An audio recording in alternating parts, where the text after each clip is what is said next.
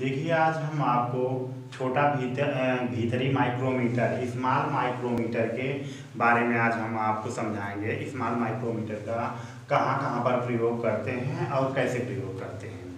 देखिए, इसके द्वारा भीतरी माइक्रो भीतरी माइक्रोमीटर की परिशुद्धता चेक करने के लिए, भीतरी माइक्रोमीटर की परिशुद्धता चेक करने के लिए इसे एक निश्चित पाठ्यांक तक खोल करके, एक इसे निश्चित पाठ्यांक तक खोल करके आउटसाइड माइक्रोमीटर की सहायता से चेक कर लेना चाहिए। भीतरी माइक्रोमीटर को एक इसे निश्चित पाठ्यांक तक खोल करके इसका भीतरी भीतरी माइक्रोमीटर को चेक कर लेना चाहिए।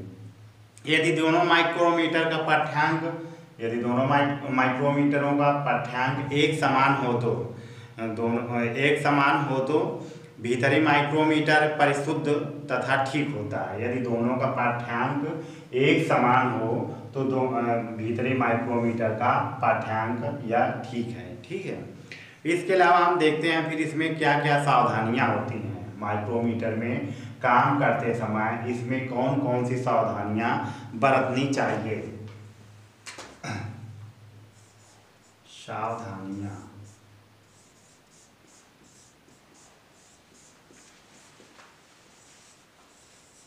सावधानियाँ नंबर एक। नंबर एक में सावधानियाँ देखिए, माइक्रोमीटर को पाठ्यांक लेने से पहले, माइक्रोमीटर का पाठ्यांक लेने से पहले उसकी शून्य त्रुटि को चेक कर लेना चाहिए। शून्य त्रुटि शून्य त्रुटि को चेक कर लें। इसके बाद में ही किसी वस्तु का पाठ्यांक नोट करें। किसी वस्तु की मोटाई, गहराई, जो भी आपको चेक करना है, पहले शून्य त्रुटि चेक कर लें। इसके बाद उस पाठ की मोटाई ज्ञात करें। फिर आपका दूसरा आता है, माइक्रोमीटर को कभी भी कर्तन औजारों के साथ में। माइक्रोमीटर को कभी भी कटिंग टूल के साथ में नहीं रखना चाहिए। जिससे कि उसमें खरोंच आ जाती है, खरोंच आने पे क्या है, उसमें डिस्टेंस हो जाती है और वो बेकार हो जाता है। इसलिए माइक्रोमीटर को कभी भी कटिंग टूलों के साथ में नहीं रखना चाहिए। काम करने के बाद इसे स्मूथ, मुलायम कपड़े से पोंछ करके साफ़ करके फिर जो इसका बाक्स होता है, उसमें सुरक्षित रख देना चाहिए। फिर आपका आता है नंबर तीन। इसका प्रयोग कभी कभी घूमते हुए कार्यखंड इसका प्रयोग कभी भी जैसे आप ड्रिल मशीन में या लेथ मशीन में जो पार्ट ऐसे घूम रहा है, घूमते हुए पार्ट पर कभी भी इसका प्रयोग नाप लेने के लिए नहीं करना चाहिए। क्योंकि यदि पार्ट ऐसे घूम रहा है किसी मशीन में और उसमें इससे नाप लेंगे तो सही माप नहीं ले पाएँगे। घूमते हुए पार्ट पर कभी भी इसका प्रयोग ना करें। फिर आपका आता है माइक्रोमीटर का प्रयोग हमेशा रैचिट स्टाफ की सहायता से ही करना चाहिए। जो आपका रैचिट स्टाफ है, उसकी सहायता से ही इसका प्रयोग करना चाहिए। नंबर पाँच पे आता है, कार्य समाप्त करने के पश्चात माइक्रोमीटर को अच्छी तरीके से साफ़ करके रखना चाहिए। यदि आपका कार्य खत्म हो गया है, कार्य शुरू करने से पहले और कार्य खत्म होने के बाद जो भी आपके टूल हों, उनको सही से साफ़ सुथरा पहुँच करके ही उनको सुरक्षित रखना चाहिए ताकि उन पर कोई भी पार्ट ना लगा रहे, गंदा ना लगा रहे, जिससे कि आपका माइक्रोमीटर खराब हो जाए। फिर देखते हैं छोटा भीतर, भीतरी माइक्रोमीटर। इस प्रकार के माइक्रोमीटर में स्लीव या बैरल, स्लीव या बैरल, थिम्बल आउटसाइड माइक्रोमीटर किस तरह होते हैं। लेकिन एनबिल और स्पेंडल इसके एनबिल और जो स्पेंडल होते हैं स्पेंडल के स्थान पर बनियर कैलिपर्स की तरह जबड़े होते हैं। ये जो इसके जबड़े होते हैं, ये बनियर कैलिपर्स के तरीके इसके जबड़े होते हैं। फिर इसके जबड़ों को, सिरों को बहुत पतले होते हैं। जो इसके जबड़े के ये सिरे होते हैं, ये बहुत पतले होते हैं, जिससे कि इनके स्लीव या पैरल विपरीत दिशा में आंकन आंकन किया जाता है, जो इसका स्लीव या बैरल होता है, वो इसके विपरीत दिशा में पढ़ा जाता है, जिससे कि स्लाटों की माप लेने के लिए किया जाता है। इसका प्रयोग छोटे छोटे छेदों या स्लाटों के, जैसे आप ये छेद बना हुआ है, ये इस तरीके से छेद है। छोटे छोटे छेदों या स्लाटों के माप लेने, जैसे अब ये खांचा बना हुआ है तो ये हमारा खांचा है, बीच का, इसकी गहराई मापने के लिए इसका प्रयोग किया जाता है। जो छोटा माइक्रोमीटर है, इसका प्रयोग छोटे छोटे स्लादों स्लागों या छोटे छोटे छेदों का माप लेने के लिए इसका प्रयोग किया जाता है। मीट्रिक प्रणाली में इस प्रकार के माइक्रोमीटर में कम से कम पाँच एम एम मीट्रिक प्रणाली में कम से कम इसके पाँच एम एम छोटे एम एम व्यास के, अधिक से अधिक पच्चीस एम एम व्यास के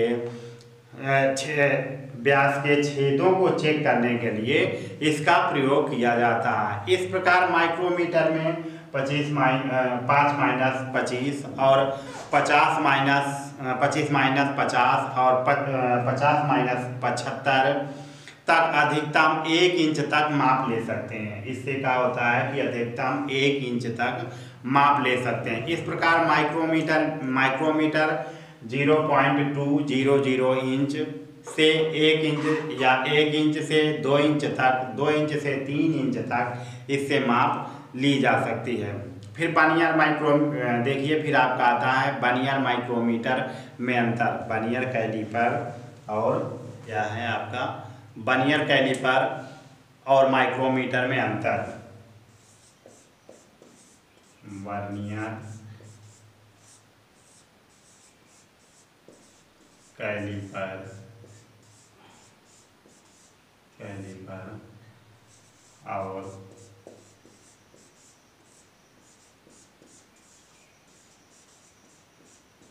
माइक्रोमीटर। में अंतर। देखिए, अब हम आपको बनियर कैलिपर और माइक्रोमीटर में अंतर के बारे में बता रहे हैं। बनियर कैलिपर और माइक्रोमीटर के अंतर के बारे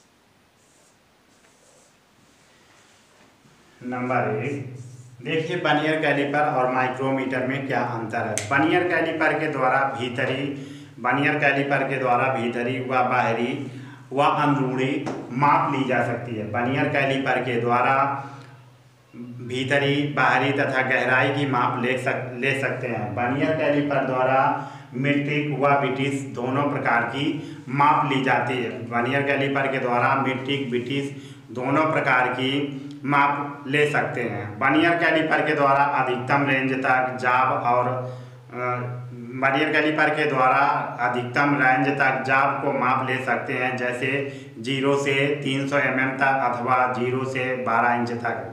देखिए बनियर कैलिपर पढ़ने के लिए बहुत अधिक अभ्यास की आवश्यकता होती है। बनियर कैलिपर की बनियर कैलिपर पढ़ने के लिए बहुत बड़ी अभ्यास की आवश्यकता होती है। मीट्रिक पद्धति में इसका अल्पतमांक, बनियर कैलिपर का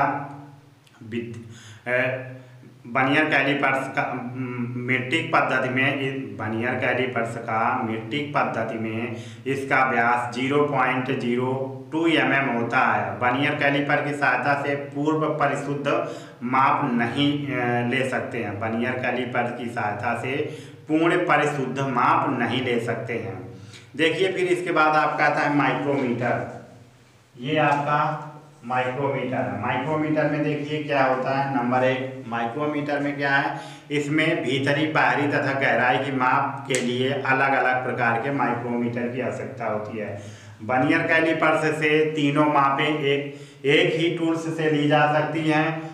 और ये आपका जो माइक्रोमीटर होता है, इसके लिए आपके बाहरी माप लेने के लिए, अंदरूनी माप लेने के लिए और अलग अलग माप लेने के लिए अलग अलग माइक्रोमीटर की आवश्यकता होती है। बनियर कैलिपर्स में ऐसा नहीं होता। उसमें बाहरी माप लेने, अंदरूनी माप, गहराई माप लेने के लिए एक ही बनियर कैलिपर्स से तीनों माप ले सकते हैं। परंतु माइक्रोमीटर के द्वारा अलग अलग मापों के लिए अलग अलग माइक्रोमीटर का प्रयोग करना पड़ता है। इसमें मिट्टिक ब्रिटिश माप लेने के लिए अलग अलग माइक्रोमीटरों की आवश्यकता होती है।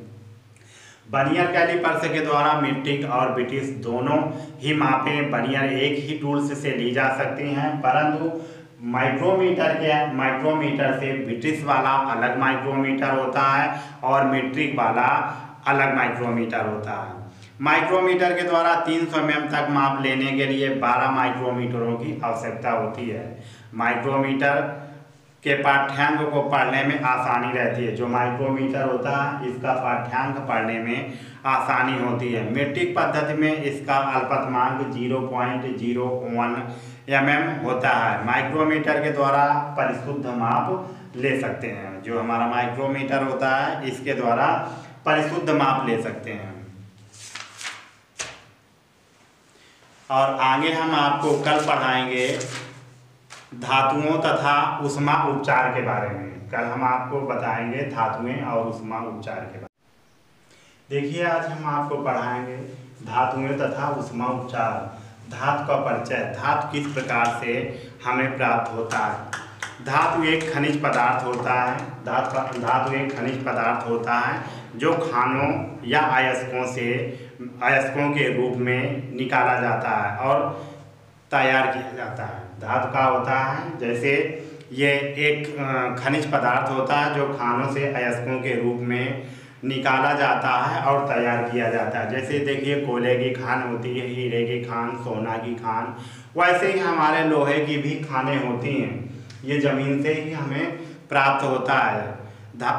ये ठोस, भारी ये जो लोहा निकलता है, ये ठोस होता है, भारी होता है अपारदर्शक तथा विद्युत तथा ताप की सुचाल सुचालक होता है। उष्मा उपचार उष्मा उपचार का अर्थ होता है गर्म करना। किसी भी जब भट्टी में इसको गर्म किया जाता है, उष्मा उपचार कहलाता है, इसमें हीट ट्रीटमेंट किया जाता है। फिर देखिए, इसको पीटने या ऊपर गिराने पर एक विशेष प्रकार की झंकार की आवाज़ आती है। जब हम लोहा को आगे में गलाते हैं, गलाने के बाद पीटते हैं, पीटने के बाद क्या होता है, जब ठंडा करते हैं तो जब उसमें मारते हैं तो उसमें एक विशेष प्रकार की आवाज़ आती है, जैसे ऊपर से नीचे छोड़ देते हैं तो खन्न की आवाज़ आती है। तो क्या होता है कि इसमें एक प्रकार की आवाज़ भी आती है। धातुओं का मुख्य रूप से उपयोग इंजीनियरिंग का जो ये हमारी धातुएँ होती हैं, इनका मुख्य रूप से इंजीनियरिंग कार्यों में रेडियो, टेलीग्राम, टेलीफोन, विद्युत का सामान तथा शक्ति उत्पन्न करने वाली मशीनों, पुल, हवाई जहाज़ मोटर गाड़ी तथा रेलवे इंजन आदि बनाने के लिए किया जाता है। बगैर लोहा के कोई भी कार्य या कोई भी मशीन या रेल की पटरी या रेल के डिब्बे, ऐसा कोई पार्ट नहीं है जो कि बिना लोहे के तैयार हो जाए। मनुष्य के जीवन में लोहा बहुत अत्यंत, कोई भी गाड़ी या कोई भी वाहन बगैर लोहे के तैयार नहीं हो सकता है। फिर धातुओं के गुण देखिए। जैसे मनुष्य के अपने अपने गुण होते हैं, हर जीव जंतु के गुण होते हैं, उसी प्रकार से धातुओं के गुण होते हैं। धातुओं के धातुओं के गुण देखिए, कौन कौन से इनमें गुण होते हैं? धातुओं में तीन प्रकार के गुण पाए जाते हैं। नंबर एक, भौतिक गुण होता है। नंबर दो होता है, यांत्रिक गुण। नंबर तीन होता है, रासायनिक गुण। नंबर तीन होता है, रासायनिक गुण। देखिए फिर हमारा भौतिक गुण के अंतर्गत क्या पाया जाता है? भौतिक गुण, ये हमारा भौतिक गुण है। भौतिक गुण में ये गुण प्राकृतिक रूप से धातु में पाए जाते हैं। जो भौतिक गुण होता है, ये प्राकृतिक रूप से धातु में पाए जाते हैं। तो इसमें देखिए क्या कह रहा है, धातु के बारे में। और प्रत्येक धातु का ये प्राकृतिक रूप से धातु में पाए जाते हैं। ये गुण धातु में स्थायी रूप से पाए जाते हैं। जो ये गुण होते हैं, भौतिक गुण, धातु में स्थायी रूप से पाए जाते हैं और इस गुण के कारण धातु को देखकर और छू करके मालूम कर सकते हैं। जो हमारी धातु है, उसको हम देख करके पता चलता है कि ये कौन सा, ये कौन सा लोहा है, सोना है कि कोयला है कि चांदी है, उसको हम प्राकृतिक भौतिक गुण के अनुसार ही उसको हम देख सकते हैं कि ये कौन सा इसमें गुण है। फिर आपका आता है, एक धातु में भौतिक गुण निम्नलिखित होते हैं। जो हमारी एक धातु है, भौतिक गुण भौतिक गुण के इसके निम्नलिखित गुण होते हैं। किसका कैसा रंग लाल होता है कि पीला होता है, सफ़ेद होता है। तो इसके लोहा के रंग के बारे में बताया गया है कि इसका रंग किस प्रकार का होता है। ये आपका रंग दिया हुआ है। इसके बारे में बताते हैं कि लोहा का रंग कैसा होता है। प्रत्येक धातु का अलग अलग रंग होता है। जैसे आपका तांबा हुआ, पीतल हुआ, कांसा हुआ तो प्रत्येक धातु का अपना अलग अलग प्रकार का रंग होता है। उसी प्रकार लोहा का रंग भी काले प्रकार का होता है, जिसमें कि जिनके कारण वो आसानी से पहचाना जा सकता है। अलग अलग धातु पीले कलर का होता है और कांसा होता है, तांबा होता है, लोहा होता है तो इससे हमें अलग अलग प्रकार के धातु पहचानने में कोई दिक्कत दिक्कत नहीं होता। पीला हुआ तो हमारा तांबा है तो ऐसे ही हमें तुरंत पता चल जाता है काले रंग का है तो हमारा लोहा होता है। उसी प्रकार से आता है जैसे पीतल, तांबा, रंग पीला, सोना, रंग सुनहरा, तांबे का रंग लालपन लिए होता है, चांदी का रंग हमारा सफ़ेदपन में होता है। तो सबका रंग अलग अलग होता है। तो उसके रंग से ही पता चल जाता है, सफ़ेद है तो हमारा चांदी है और आपका जो पीला है तो हमारा सोना है। इसी प्रकार से आपका आता है भार। जो इसका भार होता है सबसे ज़्यादा भार है, तब हमें कैसे पता चल जाता है? प्रत्येक धातु का, उसका आयतन के अनुसार निश्चित भार भी होता है। जो हमारा भार होता है, जितना उसका आयतन बढ़ता है, उसी हिसाब से उसका भार भी होता है। तो आयतन के अनुसार ही हम भार पता लग जाता है कि हमारा कौन सा ये धातु है और किस चीज़ का है। फिर देखिए आपका, जैसे अलग अलग धातुओं का अलग अलग भार होता है, धातु का भार प्रति घन सेंटीमीटर लिया जाता है। उदाहरण के लिए हमारा जैसे शीशा आता है। शीशा सबसे भारी होता है तथा एल्युमिनियम सबसे हल्की होती है। शीशा जो हमारा होता है, सबसे भारी होता है और जो हमारा एल्युमिनियम है, एल्युमिनियम धातु हमारा सबसे ज़्यादा हल्का होता है। फिर देखिए हमारा आता है संरचना। संरचना में यदि धातुओं को तोड़कर देखा जाए तो उनके अंदर की बनावट अलग अलग होती है। जैसे इस्पात की आंतरिक संरचना बनावट रेगुलर ढलवा लोहे की क्रिस्टली और पिटवा लोहे की पार्श्व होती है। जब उनको तोड़ते हैं तो तोड़ने से पता चल जाता है, उनके अंदर जो कण होते हैं, वो चमकाट से पता चल जाता है कि हमारा धातु ढलवा है, कि हमारा पिटवा लोहा है, कि ग्रेनाइट कौन सा हमारा ग्रेनुलर बनावट में है। उससे संरचना से ही पता चल जाता है कि हमारा किस प्रकार का ये लोहा इसको पीटने से या तोड़ने, फोड़ने से हमें पता चल जाता है कि हमारा लोहा किस प्रकार से है। फिर आपका आता है चालकता। देखिए, चालकता के बारे में बताते हैं क्या होता है। धातु का वो गुण जिसके कारण उष्मा विद्युत उसके एक स्थान से दूसरे स्थान तक पहुँचती है, चालकता। जैसे आप लोहे के सरिया को इतना आगे में, आग में इसको डालेंगे तो क्या होगा, उसमें पूरे में उष्मा प्रवाहित हो जाएगी, एक स्थान गर्म होगा तो वो यहाँ तक पूरा उष्मा फैल जाएगी। वही हमारा होता है चालकता तो इसके अंतर्गत आता है, एक स्थान से दूसरे स्थान पहुँच जाती है। उसे चालकता का गुण कहते हैं। और जिन धातुओं में उष्मा विद्युत का प्रवाह एक स्थान से दूसरे स्थान नहीं होता है उन्हें कुचालक कहते हैं। सभी धातुओं में चालकता का गुण ही सुचालकता होता है। एक स्थान से दूसरे स्थान तक उष्मा का प्रवाह पहुँचना ही चालकता हमारा कहलाता है। वो उष्मा की सुचालक होती हैं। फिर आपका आता है चुम्बकता इसके अंतर्गत देखिए चुम्बकता के अंतर्गत क्या आता है आपका? इसमें क्या होता है सभी धातुओं में। धातु का वो गुण जिसके कारण एक चुम्बक धातु को अपनी ओर खींचता है। देखिए, जैसे लोहा का चुम्बकत्व तो होता है, लोहा का छोटा सा बीकण पड़ा होगा तो चुम्बक उसको अपनी ओर आकर्षित करता है, उसे चुम्बकता कहलाते हैं। इसे पता लगता है कि किसी भी लव धातु तथा कौन सी धातु अलव धातु है। जब चुम्बक अपनी ओर खींचता है, जैसे एल्युमिनियम का अपनी ओर नहीं खींचता, क्योंकि एल्युमिनियम में लोहे के कण नहीं पाए जाते हैं तो इससे पता चल जाता है कौन सी धातु लव है और कौन सी धातु अलव है। जिन धातुओं में लोहे के कण पाए जाते हैं, वो लव होती है और जिन धातुओं में लोहे के कण नहीं पाए जाते हैं, वो हमारी धातु अलग होती है। तो इससे पता चल जाता है चुम्बक से कौन सा धातु लव है और कौन सी धातु अलव है। फिर इसके बाद हमारा आता है गलनिता, गलाना। किसी भी धातु को बेकार पड़े हुए सामान को गलाना। जब लोहा को गला करके दूसरे रूप में ढाला जाता है। तो इसे हमारा गलनता आता है। धातु का गुण जिसके कारण प्रत्येक ठोस धातु निश्चित तापमान तक गर्म करने पर द्रव के रूप में पिघल जाती है। ये क्या होता है गलनता।